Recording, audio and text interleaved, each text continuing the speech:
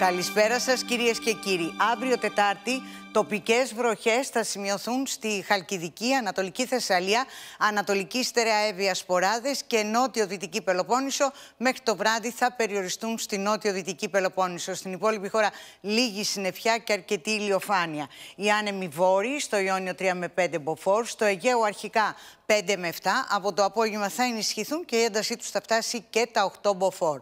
Η θερμοκρασία θα ανέβει το μεσημέρι ε, στα υπηρετικά έως 23 με 25 βαθμούς και στα νησιά έως 24 με 26 βαθμούς. Στην Αττική λίγη συννεφιά και αρκετή ηλιοφάνεια. Η βόρεια άνεμη 4 με 6 και στα ανατολικά 7 μποφόρ και η θερμοκρασία από 14 έως 23 βαθμούς. Στην περιοχή της Θεσσαλονίκης επίσης τοπικές συννεφιές, οι άνεμοι από διάφορες διευθύνσεις 3 με 4 μποφόρ και η θερμοκρασία από 12 έως 22 βαθμούς.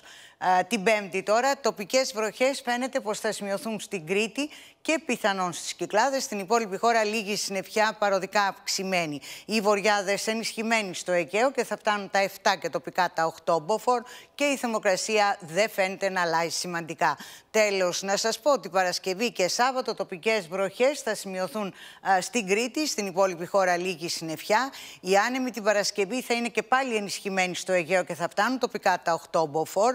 Λίγο θα εξασθενήσουν το Σάββατο, η έντασή τους 5 με 6 και τοπικά μέχρι 7 μποφόρ. Η θερμοκρασία την Παρασκευή θα σημειώσει μικρή άνοδο στη Δυτική Ελλάδα και ακόμα λίγο θα ανέβει ε, το Σάββατο σχεδόν σε όλη τη χώρα. Κυρίες και κύριοι, καλό σας βράδυ.